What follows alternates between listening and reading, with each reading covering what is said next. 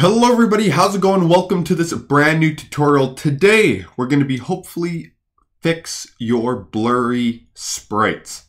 And what do I mean by that? Well, what you'll notice if you have a game that has very small sprites and you've got a view that is quite small and you're porting it to an HD uh, level.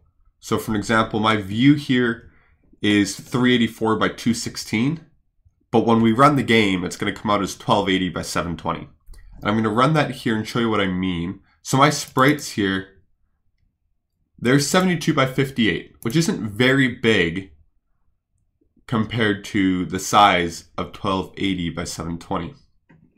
So if the file runs here after it's done compiling, you can see that the images, actually, I don't know how well you can see that, but everything is just a little blurry. Like it's not as clear as it can be.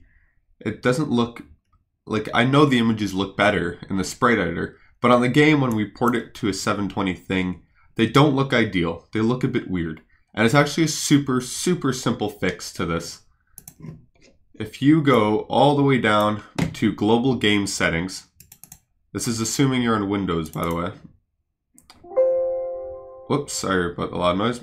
Uh, you can go to Windows, and this little thing here that says interpolate colors between pixels, if you uncheck that, it is going to make everything clear again. GameMaker is not going to try and do any guessing with colors. It's not going to make your pixel art blend together or anything.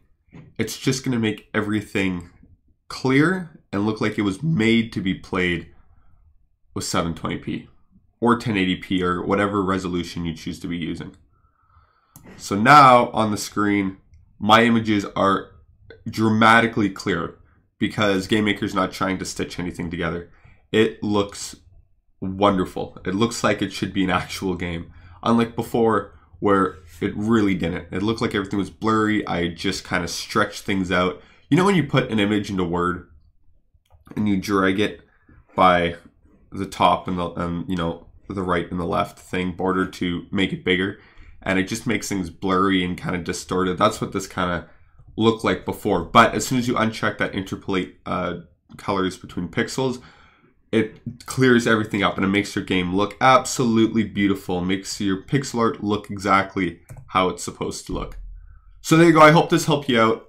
If you enjoyed it let me know. If you had any questions let me know. Um, Beyond that, I will see all of you in the next tutorial. Thank you so much for watching. Happy deving.